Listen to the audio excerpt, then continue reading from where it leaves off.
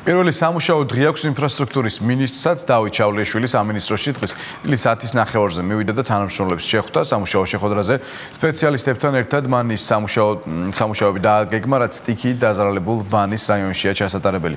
ახალი მინისტრი ყველა პროექტის გაგრძელების პირობას დებს. მინისტრობამდე ჩავლეშვილი გზების დეპარტამენტის ხელმძღვანელობდა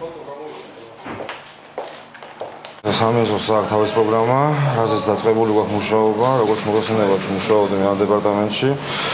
აა გაგზელდება როგორც გზების კუთხით, ასევე დანარჩენი სხვა მიმართულებების სამეზოს ის რაც კი გააჩნდა და გაათმაგებული ძალებით და ყველაფერს არ დავიშურებთ, რა თქმა უნდა, ყველაფერი იყოს იდეალურად.